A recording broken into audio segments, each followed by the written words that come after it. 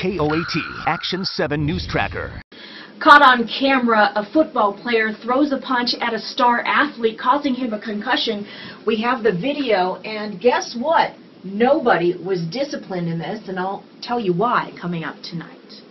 Check this out. We're not done with the snow just yet. One more cold front coming through here. So let's talk about who picks up accumulating snow today. Looks like it's going to stay just east of Albuquerque, kind of along the line from Santa Fe through the East Mountain communities down into Socorro County, Lincoln County, and then points east. This I-40 corridor, we're only talking about the potential for an inch or two of snow for the most part, maybe three in the mountains, but we'll have the north and northwesterly winds, winds rather, blowing all day long. So that could lead to some blowing snow areas there uh, through the canyon, through the east central part of the state. Uh, Valencia County had some pretty healthy snow showers this morning that are slowly pushing eastward. Here in the metro, it's flurries, if anything.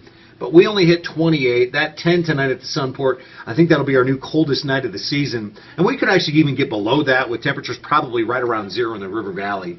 If you wait this week out, we do see signs of a warm up coming our way. Generally speaking, a quiet week of weather ahead, some days with more clouds than others, but we're probably dry and on the quiet side without any signs of strong gusty winds.